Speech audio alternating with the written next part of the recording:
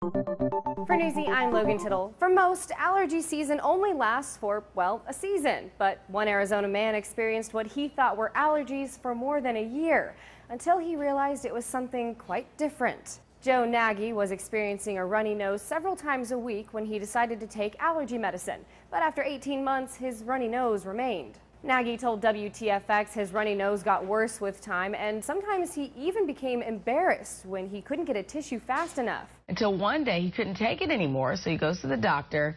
Listen to this. It turns out Joe's brain fluid was leaking. Excuse me? Yeah, turns out that runny nose was really a runny brain. The Independent explains doctors noticed a small gash in the membrane surrounding his brain, so he signed up for surgery.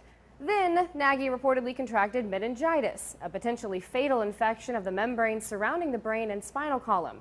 He was able to go through with surgery once he recovered. And since then, Nagy says the only time he's had a runny nose was when he had a cold. For Newsy, I'm Logan Tittle. Listen to this. It turns out Joe's brain fluid was leaking. Excuse me? Yeah, turns out that runny nose was really a runny brain. The Independent explains doctors noticed a small gash in the membrane surrounding his brain, so he signed up for surgery.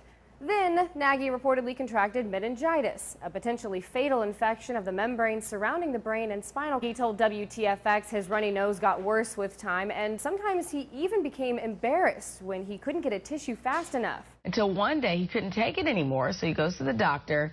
For Newsy, I'm Logan Tittle. For most, allergy season only lasts for, well, a season. But one Arizona man experienced what he thought were allergies for more than a year until he realized it was something quite different. Joe Nagy was experiencing a runny nose several times a week when he decided to take allergy medicine. But after 18 months, his runny nose remained. Nagy